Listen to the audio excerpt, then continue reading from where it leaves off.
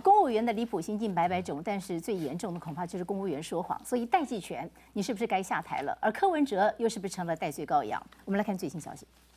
除了种金枣之外，还要再种其他的绿色地被植物。戴着斗笠，因为柯批要亲自种菜苗，拿起铲子用水壶浇水，有模有样。市长心里想的可能是能不能也顺便浇席波卡争议，因为戴季全前一晚和他报告后，已经宣布请假待命。先请假嘛，这个啊再说哦，要你要你要把他免职，也不是我们市政府一一个一个命令下去，还是继续想要保护他。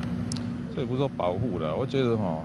我我们我们常常是说给年轻人机会嘛哈，但是也不希望说，坦白讲，他现在这个状态，他也是，你把他留的把他把他绑在这个靶场的靶上面嘛，也没有对他也没有更好的，所以就让他下去吧。还是力保子弟兵善后责任，柯批要帮忙扛，但戴季全去留问题不止蓝绿议员，市府内部也有杂音，喊出要戴季全知所进退，为事件止血。戴季全的去留还是要处理。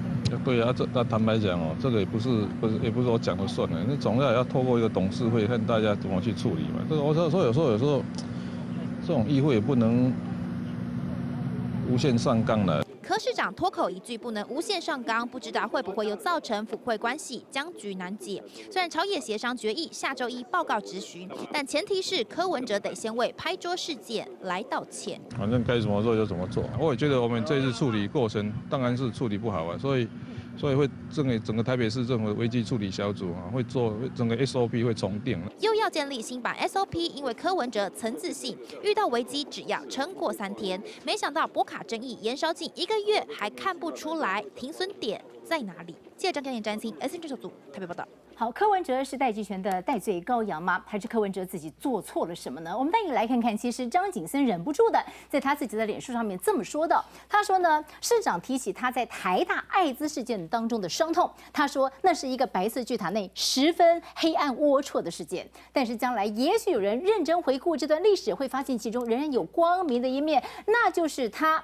柯文哲在危机当中并没有背弃跟牺牲手下，用以保护自己。说着说着，市长他居然有点哽咽起来。所以呢，换句话讲，其实市长呢，他还是不想要砍这个代际权。我们再来看跟柯市长九个月的心得，林清荣他也叹气了。柯文哲不希望整个市议会以及台北市都陷在波卡事件的名单当中，他希望议会能够赶快回到市政的主轴。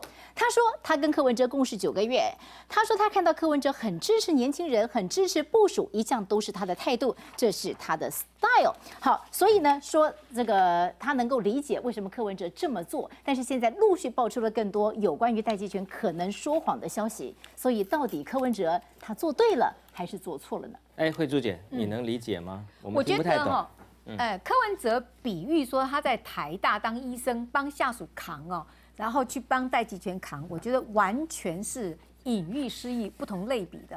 我们看到他当医生的时候，是他们整组人要受惩处。柯医师说他接受惩处，他被降掉两级，然后呢一肩扛所有的惩处他承担，然后保护他的下属。哈，那么这一次呢，代际权的事情是没有任何人被惩处。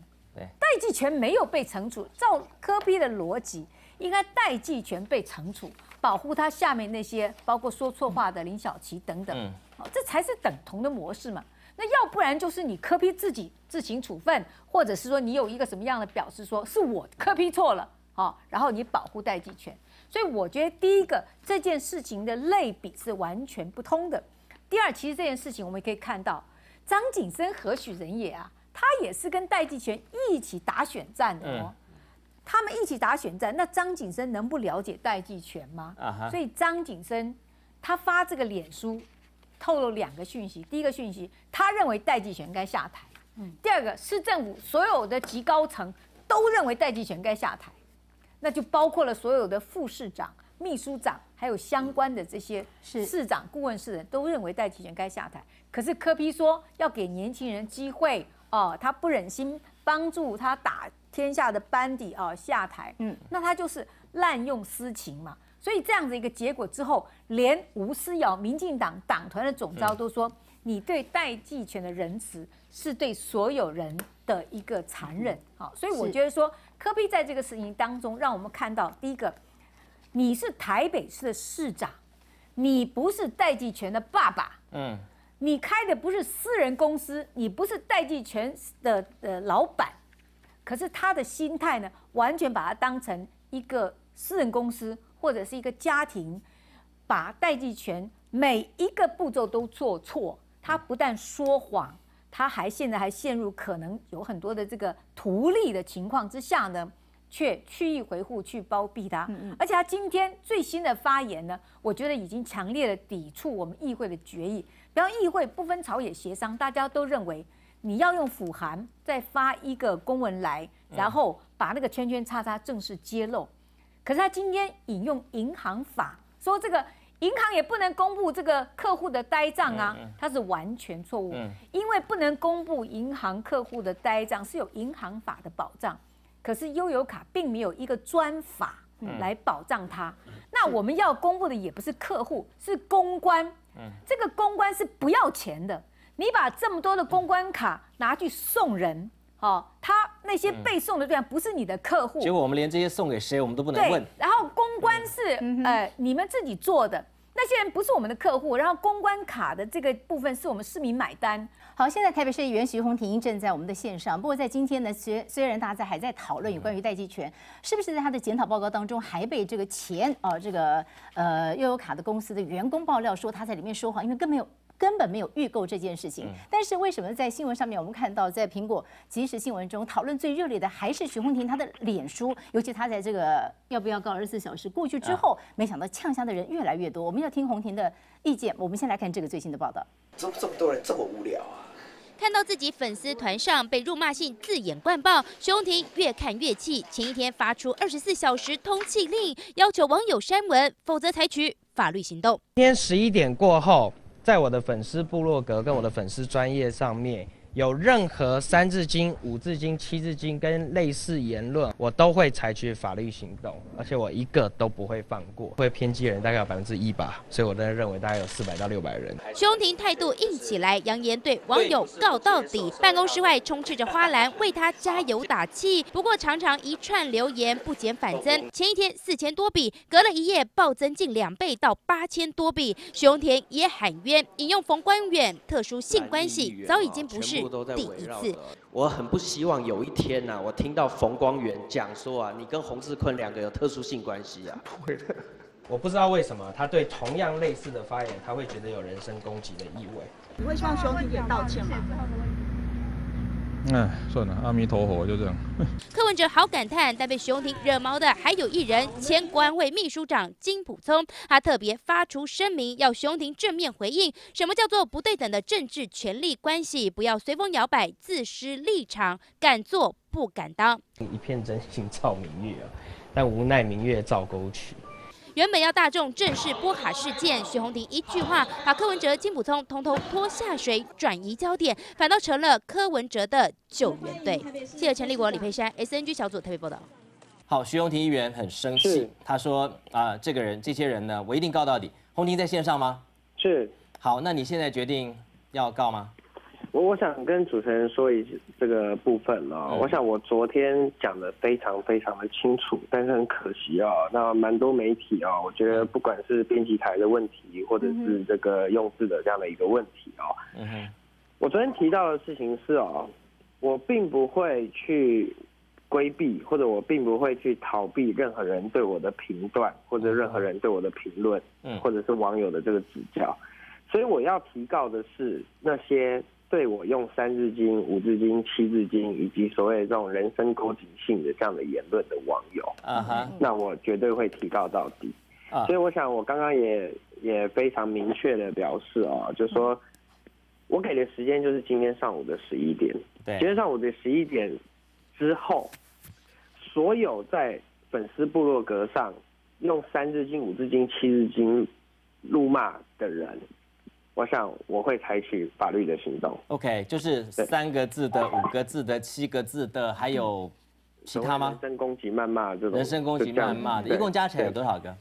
我没有办法预估哎，因为我跟大家报告就说，可能 大家后来知道我的脸书是我自己在用的。对。那这个我的脸书上面现在有三篇文章，各有大概八千个留言，但这八千个留言里面。又各有每一每一个留言里面又分了三四百个留言出来，这样，所以我没有办法确定总数大概有多少，这个是一个很难判断的事。但我只能确定的就是说，我想这这这会变成一个。这会我的脸书会变成一个平台哦，这个平台呢，我将找寻所有愿意啊跟我一起，就是说所谓端正网络风气的律师们哦，分区做处理。那律师看我会签委托书给律师，对，律师只要觉得这个案子只要涉及了所谓的五路，就是我刚讲的三字经、五字经、七字经的这个部分哦。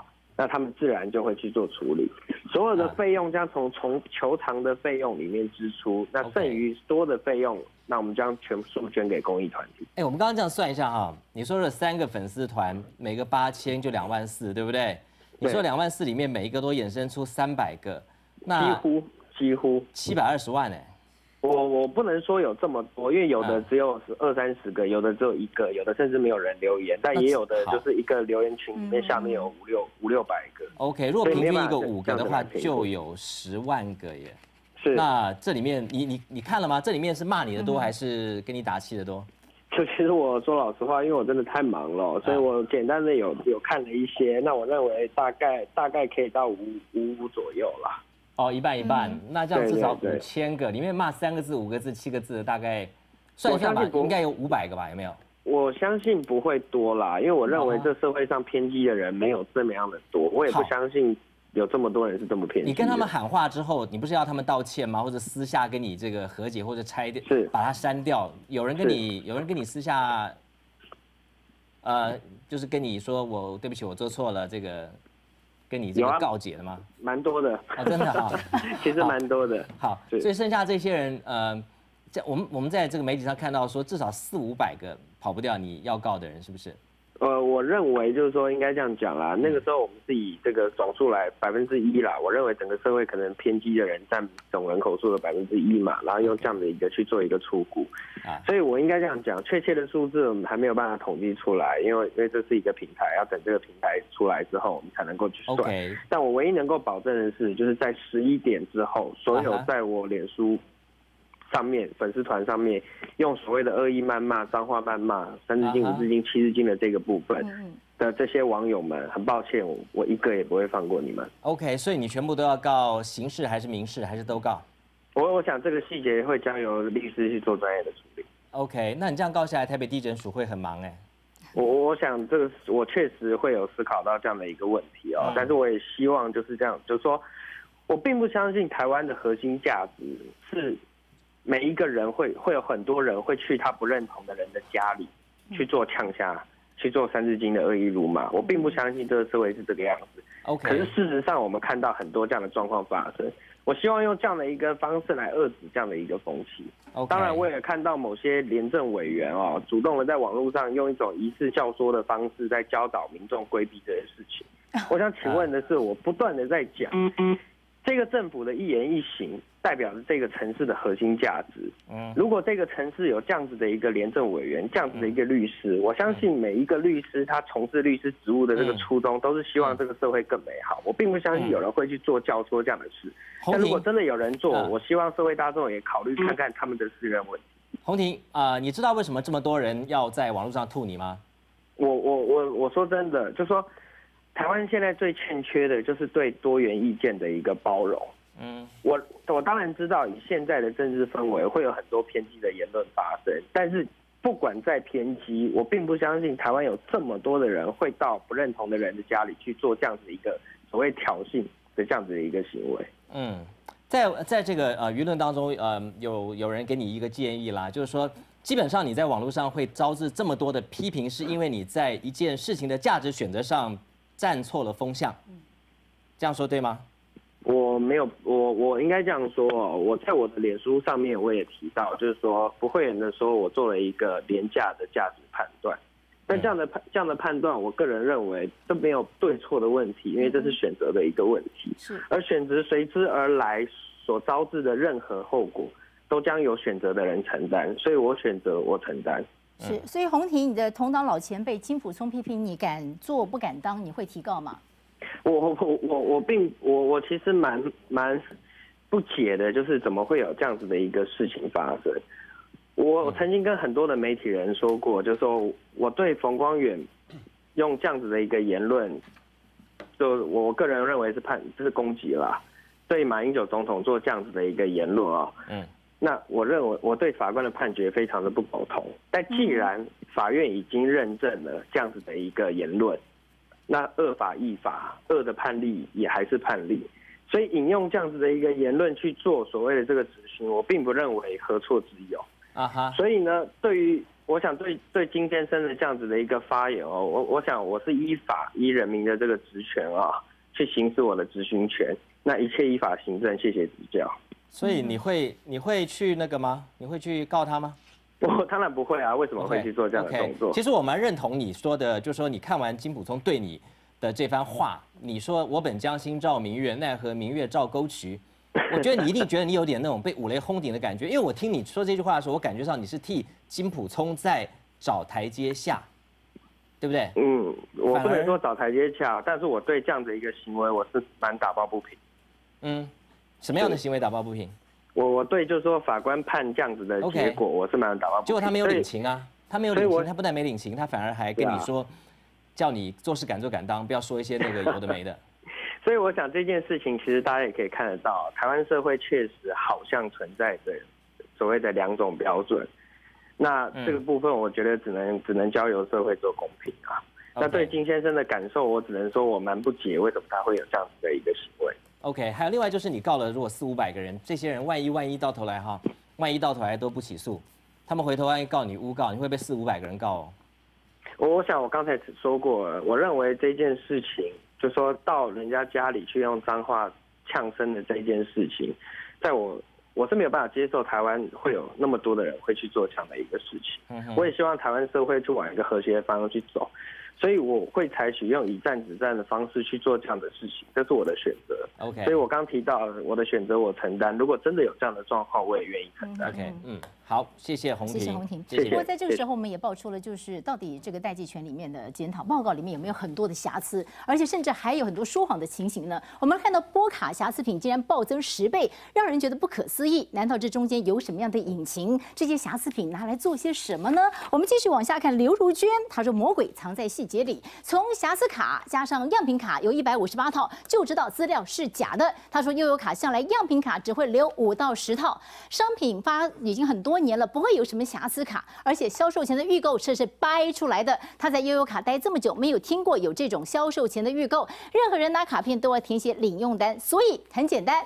领用单拿来看看就知道谁领了多少套，目的为何？不要再欺骗社会大众了。而至于这个波卡的构思，戴季全曾经说是他想的，但是没有想到说，哎，后来又不是哎，推说是团队当中有一个人特别提到的，他是谁呢？有一个正性成员提议可以找暗黑女神波多野结衣来拍封面，到时候一定会变成热门话题而大赚。当时戴季全跟林小琪听完后相当认同，才开始筹划波卡的发行。所以这到底是谁去找了波卡的这个波多野结衣呢？是戴季全还是正姓男子呢？戴季全在说谎吗？嗯，慧珠姐，这件事情的罗生门是什么？